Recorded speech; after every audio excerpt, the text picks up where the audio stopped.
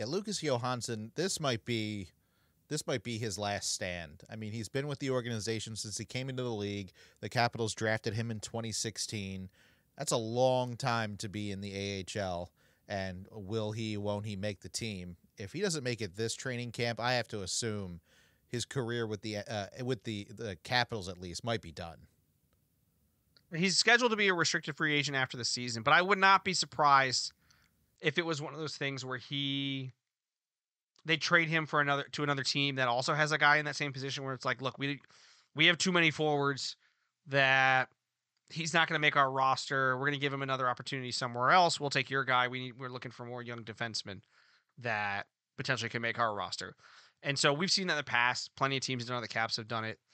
So I would not be shocked at all to see a move like that happen where they move out, move him out because they just it's a numbers game.